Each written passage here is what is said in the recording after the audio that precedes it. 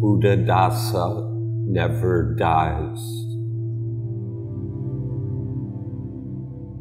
Buddhadasa shall live, there's no dying. Even when the body dies, listening to no one. Whether it is or goes doesn't matter at all.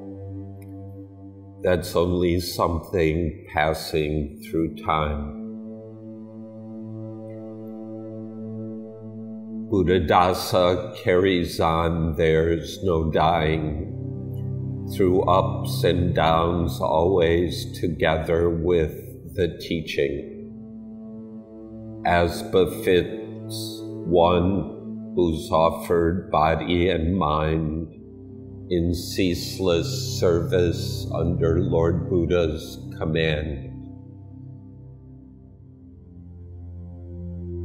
Buddhadasa lives on, there's no dying, in service to all humanity without resting through the Dhamma proclamations left behind.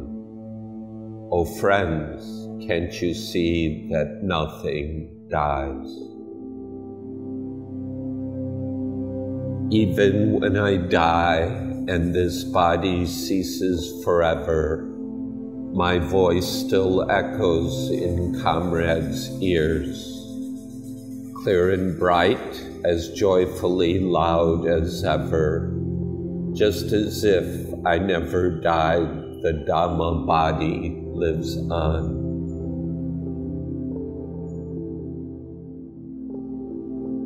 Carry on with me as if I never died, as though I am with you all as before. Speak up whatever Dhamma is on your minds, as if I sit among you helping point out realities.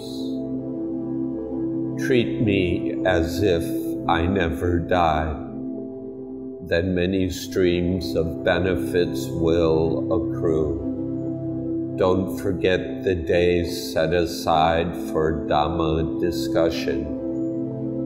Realize the end and stop dying.